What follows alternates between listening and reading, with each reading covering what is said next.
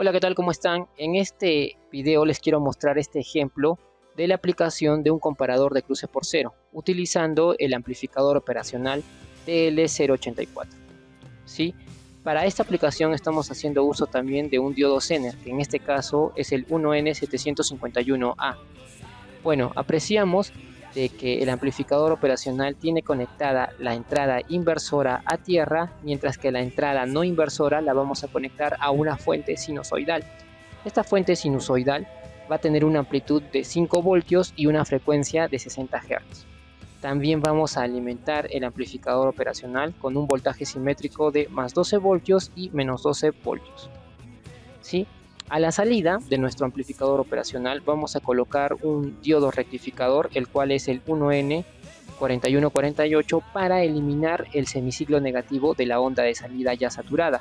Sabemos que después de utilizar, o bueno, a la salida del amplificador operacional vamos a obtener es la salida saturada tanto para el semiciclo positivo como para el semiciclo negativo. Entonces vamos a eliminar el semiciclo negativo con el diodo rectificador. Después de eso, queremos que a la salida de nuestra resistencia de carga tengamos un voltaje constante de 5.1 voltios, para lo cual estamos utilizando el diodo Zener. Este diodo, diodo Zener es el, como ya había dicho, 1N751A, que como voltaje Zener tiene un voltaje de 5.1 voltios, con una corriente Zener de 20 mA. ¿sí? Sabemos que para poder configurar o para poder trabajar con el diodo Zener en la zona de disrupción, tenemos que trabajar con una resistencia limitadora de corriente. ¿Sí?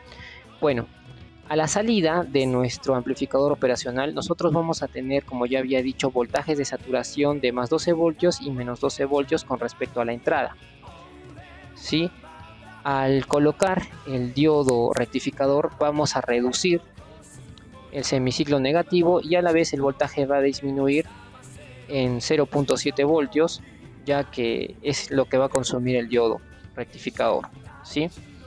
bueno con eso aquí en este punto o a la salida del diodo rectificador más o menos vamos a obtener un voltaje de 11.3 voltios ¿sí?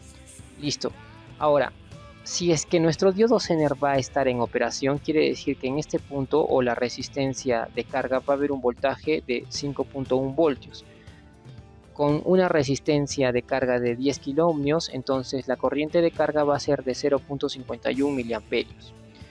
Bueno, y sabemos que por la ley de Kirchhoff la corriente que va a circular por la resistencia en serie al diodo Zener va a ser la sumatoria de la corriente que fluye por la resistencia de carga y por la corriente más la corriente que fluye a través del diodo Zener y el datasheet del diodo Zener nos indica que para que este funcione en la zona de disrupción necesita 20 mA. Entonces sumamos esta corriente más esta corriente y nos da una corriente total de 20.51 mA.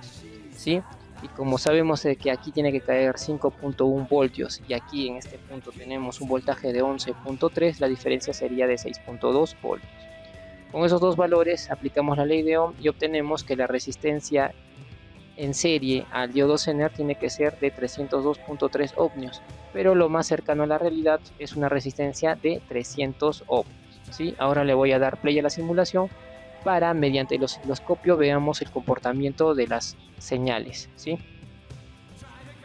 Bueno, hemos conectado previamente el osciloscopio a la entrada o a la onda sinusoidal. ¿sí? También hemos conectado el canal B a la salida del amplificador operacional el canal C está conectado a la salida del diodo rectificador y por último el canal D está conectado a la resistencia de carga.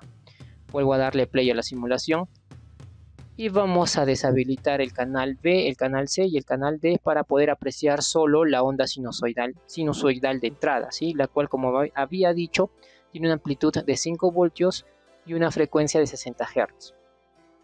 Bueno, tenemos el voltaje de división a, a 2 voltios eso quiere decir que desde aquí tenemos 2, 4 y la mitad de un cuadradito serían los 5 voltios, ¿sí? Para el semiciclo positivo como para el semiciclo negativo. Ahora vamos a habilitar el canal B y el canal B nos va a mostrar la salida del amplificador operacional. Como vemos, la salida del amplificador operacional es una onda cuadrada saturada en más 12 voltios y menos 12 voltios para el ciclo negativo, ¿no? Ya que cada vez que cruzamos por cero, o bueno, cada vez de que la onda de entrada cruza por cero, a la salida obtenemos el voltaje de saturación máximo que es de 12 voltios y cuando la onda cruza por cero hacia el semiciclo negativo, la salida nos va a mostrar la saturación mínima que es de menos 12 voltios. ¿sí? Ahora vamos a deshabilitar el canal B y vamos a habilitar el canal C. El canal C nos va a mostrar el voltaje después del diodo rectificador. Y como apreciamos hemos eliminado o el diodo rectificador ha eliminado el semiciclo negativo. Vamos a volver a activar el canal B para apreciar los puntos ¿no? vemos de que hay una caída de tensión ya que el diodo rectificador va a consumir voltaje ¿sí? alrededor de 0.7 voltios según la teoría. Bueno entonces estamos apreciando que el diodo rectificador está eliminando el semiciclo negativo. Así que vamos a volver a deshabilitar el canal B ¿sí? Y por último vamos a ver el comportamiento de la resistencia de carga, habilitando el canal D.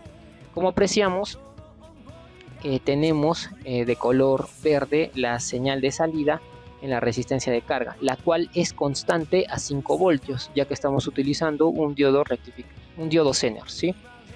Entonces hemos regulado el voltaje de salida a los 5 voltios necesarios, eliminando el semiciclo negativo de la onda de entrada. ¿sí? Vamos a deshabilitar ahora el canal C para mostrar la entrada de nuestro circuito y la salida final. ¿no? Entonces, en otras palabras, voy a dar esto para la simulación, estamos mostrando la entrada sinusoidal y la salida vista desde la resistencia de carga. ¿no? Entonces le volvemos a dar play a la simulación y apreciamos de que cuando la onda sinusoidal se encuentra en el semiciclo negativo, a la salida vamos a obtener 0 voltios y cuando la onda pasa por 0 y entra al semiciclo positivo, a la salida obtenemos 5 voltios constantes. Luego cuando la onda vuelve a caer o pasa por 0 hacia el semiciclo negativo, a la salida volvemos a obtener 0 voltios y cuando la onda vuelve a pasar por 0 y sube hacia, hacia el semiciclo positivo, a la salida volvemos a obtener los 5 voltios constantes, ¿sí? Esto de manera ininterrumpida. Y de esa manera estamos observando una aplicación del amplificador operacional TL084 y de un diodo Zener. Bueno, espero que este video les sea de ayuda. Ya saben, suscríbanse al canal, dejen comentarios y compartan el video. Eso sería todo. Muchas gracias.